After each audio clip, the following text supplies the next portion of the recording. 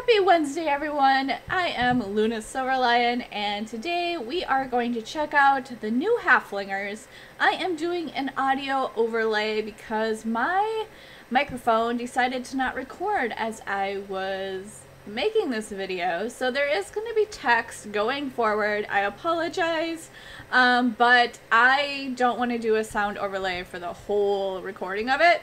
Um, I do want to point out, though, when I do uh, adopt, adopt, purchase um, one of the Haflingers, you will notice that I name it, um, I name it Star Pirate, and the other one I name Wild Star, and those are because in memory of sort of the Star Squad as Wild and Wild Pirates, two clubs that I owned for a good period of time, and I thought that these Haflingers were good for that.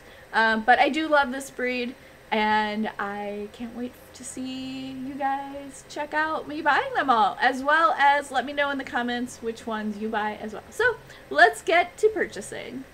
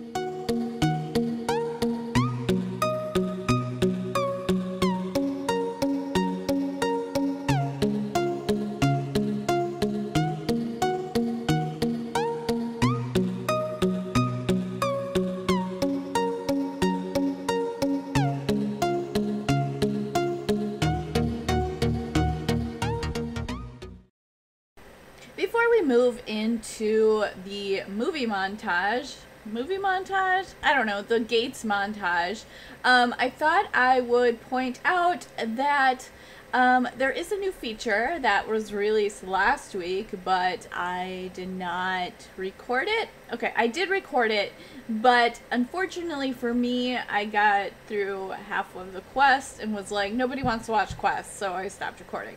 But anyway, we can now change the time of day in settings, which is a feature that I've been wanting for a very long time. And this is probably why I'll never really be on my UK account again sorry UK account, but it's something I really want and am so happy is here. So let's go ahead and get into the gate montage so we can check out this beautiful horse.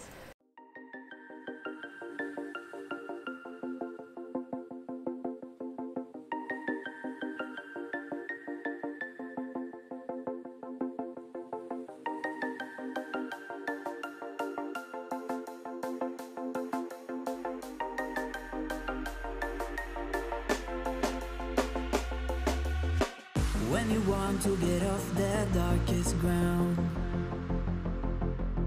But gravity pulls you straight down. Earth from a bird's eye view.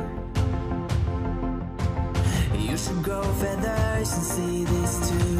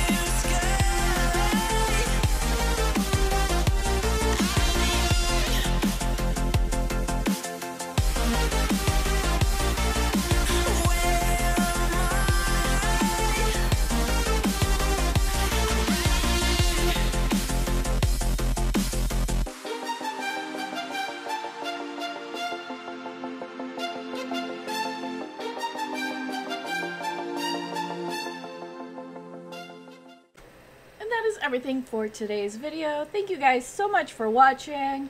Um, make sure to head over to Fort Pinta Beach to buy Campos and Talina if you are looking to still purchase them as they are back until July 6th. Um, also, there is a new bonus saddle in the Lifetime Shore store in Moorland. Uh, so make sure to go ahead and check that out. Otherwise, that is it for me today. Let me know in the comments if you purchased a Haflinger and which color you got and what you named it. And I will talk to you guys next time. Bye bye.